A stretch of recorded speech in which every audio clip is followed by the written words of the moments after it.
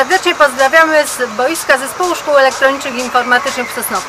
Sosnowiecki Elektronik jak zwykle jest bardzo chętny do udzielania pomocy i gotowy na wyzwania. Bardzo dziękujemy za nominację Szkole Podstawowej nr 8 w Sosnowcu. E, przyjmujemy wyzwanie. Robimy pompki lub przysiady. Uwaga, gotowi? Proszę do pozycji. Raz, Dwa. Trzy. Cztery. Pięć. Sześć. Siedem. Osiem. Dziewięć. Dziesięć.